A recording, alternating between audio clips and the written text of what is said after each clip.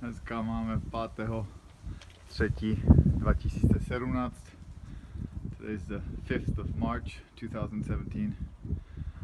A jak vidíte, po odstranění jednoho ze čtyř panelů polikarbonátových naše Trachycarpus Fortuné je v naprostém pořádku.